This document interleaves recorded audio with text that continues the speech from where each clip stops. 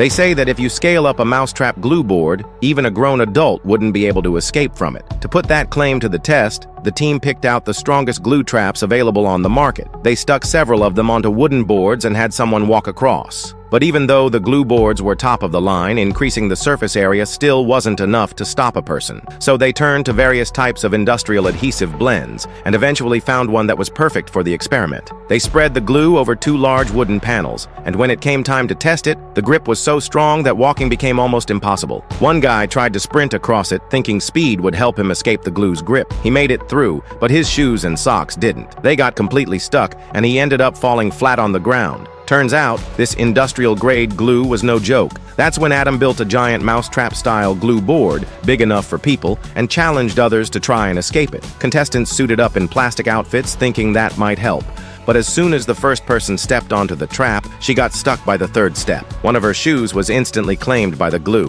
When she reached down to help herself, the glue ripped her glove right off. At that point, she couldn't move at all. The board had her completely pinned down. The second contestant had it even worse. He ended up face down on the glue board. The last participant was full of confidence. He tried hopping his way out of trouble, but the glue was so strong his clothes tore as he tried to break free. There's no doubt this glue could trap just about anyone. But here's the twist. Getting unstuck might actually be easier than you'd think. Can you guess how?